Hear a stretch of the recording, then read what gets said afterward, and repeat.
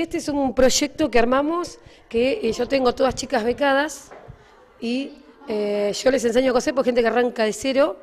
Acá aprendieron, ya la gran mayoría, vienen turnos de dos horas y entre 8 a 14 horas están acá y fabricamos para el partido.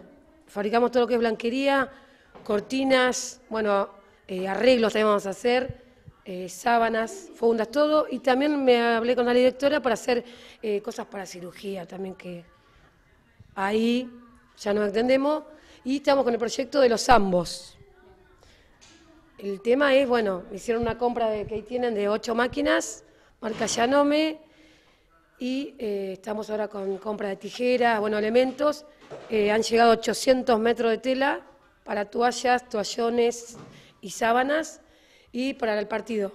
Y aparte eh, estaba el proyecto de ir a Pirana a enseñar, pero ahora vamos a arrancar ya en Santa Clara y vamos a recalcar el ahorro que hace el municipio al fabricar y no comprar, pues la diferencia es 70-30 y aparte que las chicas lo esencial es que aprenden un oficio, eh, pueden después vivir de eso, yo les digo que se animen y arranquen, y bueno, están re entusiasmadas, y aparte después, bueno, se habían anotado muchas chicas, el curso sigue de 2 a 4, también particular, y utilizamos el Inca porque no, tenemos espacio para el taller, pero este curso sale de producción.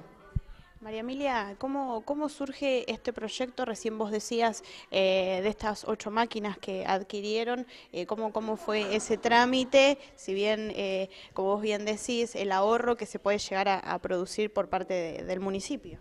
Sí, el ahorro, bueno, es una diferencia muy grande porque ya averiguamos, por ejemplo, los ambos y la diferencia es sí 70-30. Y bueno, es animarse. Yo propuse, porque había, hay mucha gente becada y había mucha gente desocupada que tiene que hacer algo, porque tenés la beca y tenés que devolver un servicio, y nada mejor que este taller.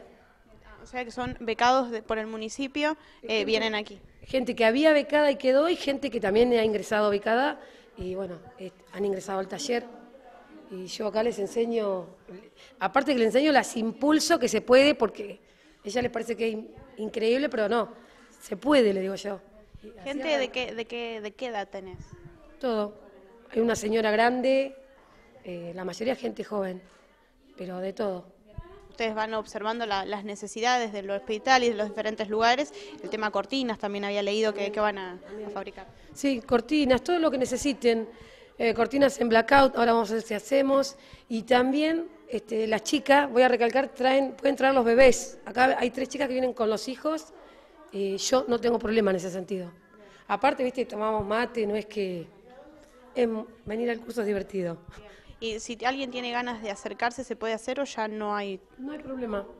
Pueden venir eh, a anotarse, a la tarde es gratis el curso, el que doy de 2 a 4 de 14 a 16 es gratis, solo pagan inscripción. El que puede, si no pueden, no se paga. Y eh, a la mañana, si chicas becadas pueden venir, si están desocupadas o quieren aprender, no hay problema.